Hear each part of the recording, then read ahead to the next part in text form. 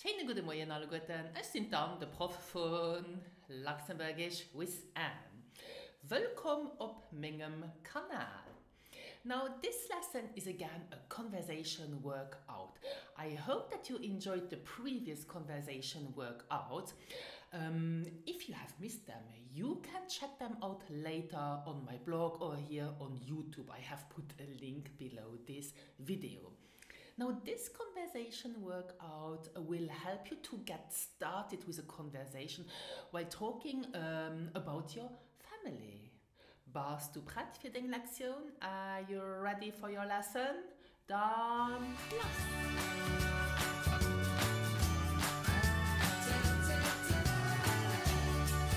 In the conversation workout one, which was about greetings, um, you have learned that it is very common in Luxembourgish to move on with a conversation by talking about the family, especially if you don't see each other um, very often or if you haven't seen someone for a while.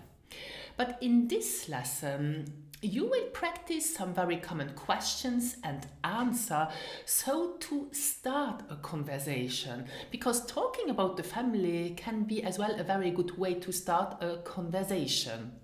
For example, when you meet some parents at a school event or at an event of the sports club of your children, so then it will be very useful if you know what to say in such an uh, informal and casual conversation. So it's useful to know or to have some questions to ask and as well some possible answers to some questions. Okay, great. Um, now this workout will follow the same pattern as the previous conversation workouts. Um, I will say some questions and some answers. You will listen first and then you will repeat after me. This will strengthen not only your speaking skills but as well your listening skills at the same time and it will help you to sound much more natural. Now you can start such a small talk conversation about the family with this question. Wohnst du heil zu Lëtzebuerg? Listen again. Wohnst du heil zu Lëtzebuerg? Now, this question may sound a little bit strange to some of you, but here in Luxembourg, it is not obvious whether someone is living in our country, so in Luxembourg, or in a neighboring country. Okay, so let's listen and repeat again this question. Wohnst du heil zu Lëtzebuerg? Now, we often use this chunk, so these three words, hi zu Lëtzebuerg. It's the way we talk, just to say here in Luxembourg. We say it here in Luxembourg. And listen as well how we pronounce the name of our country. Lëtzebuerg. Repeat after me. Lëtzebuerg. Good. Okay, now you can add, of course, some details. For example, wohnst du mit deiner Familie zu Lëtzebuerg? So, mit deiner Familie. Why do I say mit deiner Familie? Well, mat is a preposition which requires us to use the dative case. So you have to say mit deiner Familie. And this is as well a useful chunk which you can learn such as it is. Okay, so that it is in mind and that you don't have to think in a conversation. Ah, how shall I say? Is it mit den oder mit denger? No, it will always be mit deiner Familie. Now, if you want to know more about the preposition mit or about the dative case, you check you can check out other lessons I have published about uh, these topics on my blog. Great.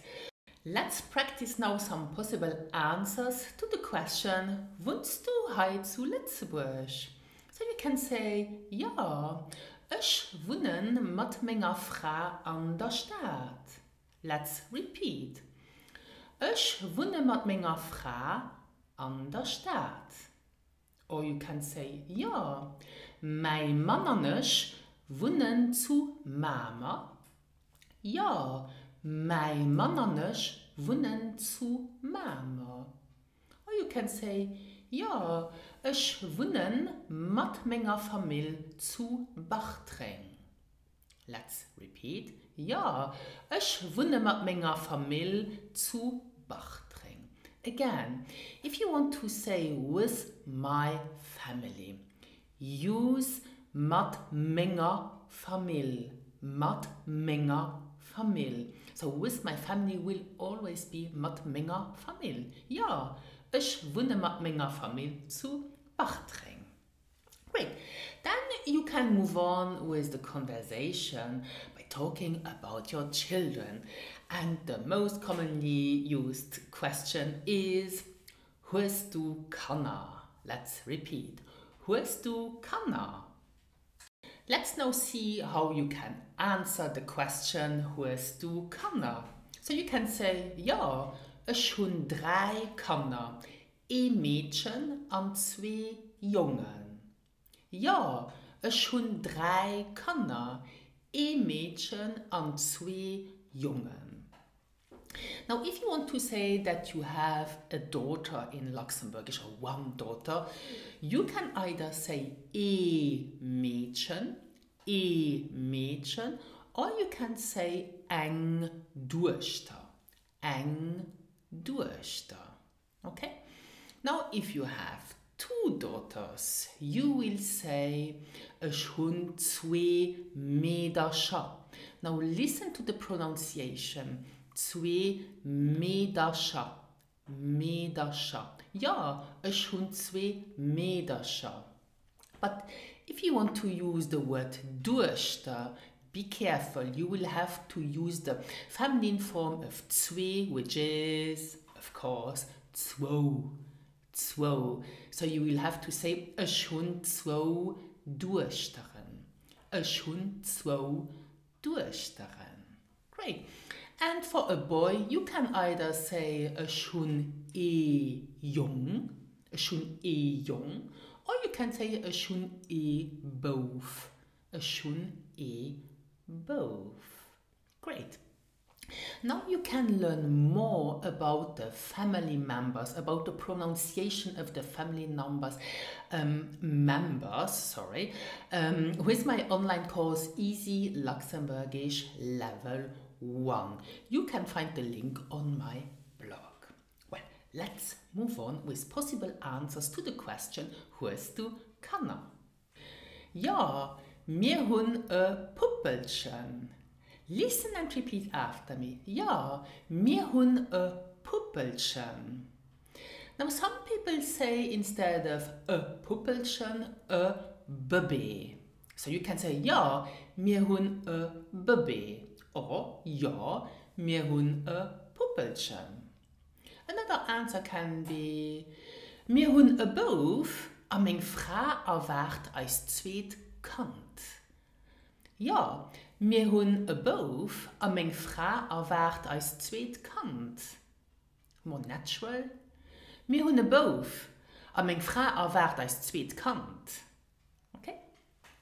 Now you can always add some details to make your answer more interesting and longer. So you can say mir hunn drei Kanner. Als eelst Mädchen huet 14 Joer a geht an de Lycée, de zwei Jungen gin an Primärschule.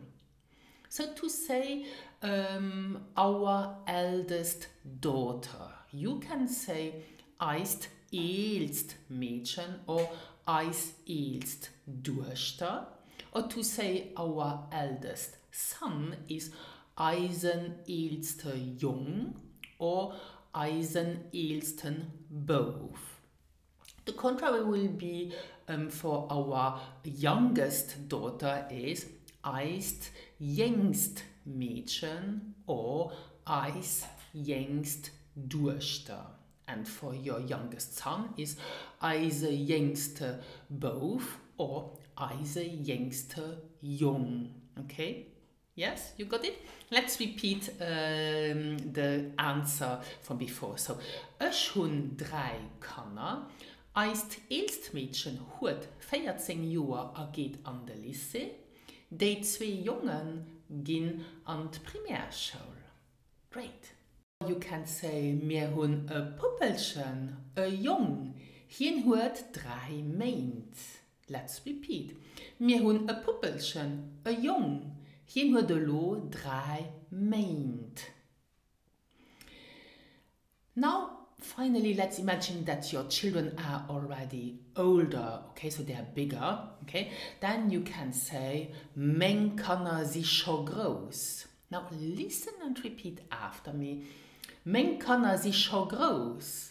So here you've heard the word schon. Schon is the word schon. And be careful. Here we have to apply the N rule because schon is ending with n. Okay, so you will hier scho scho. Men kannner si scho gros. Eise Jong studiert de lo op der Uni an eis Duerchter schafft schon. Let's repeat. Eise Jong studiert op der Uni an eis Duerchter schafft schon. Okay, great.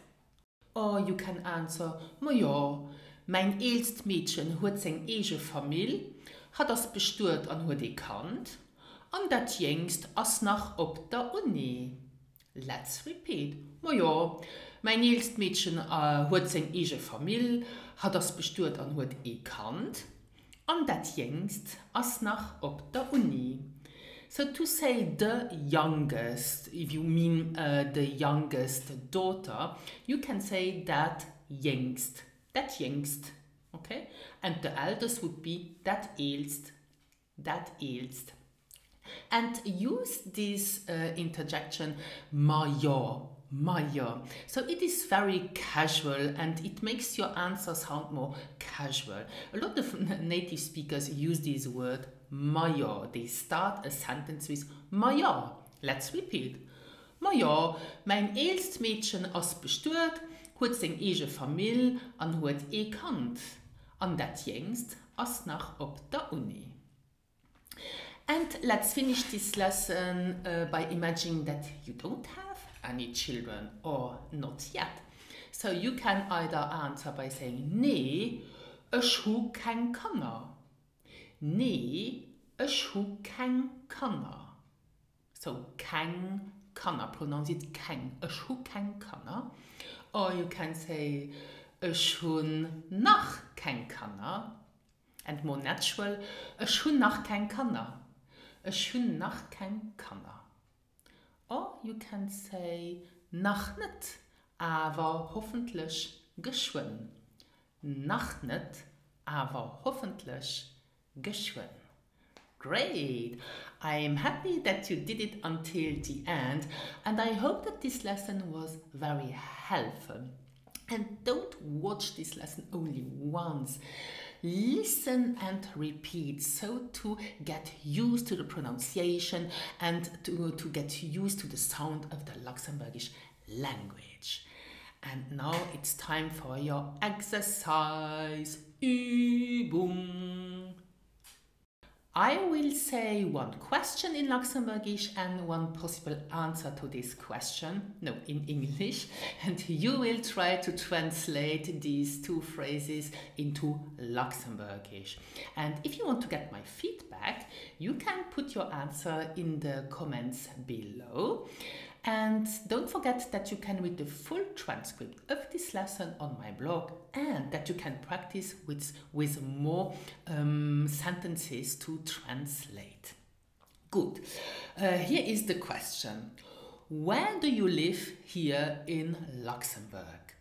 And use the informal form of you. And the answer could be um, I live with my husband and our two kids in Luxembourg City. Great.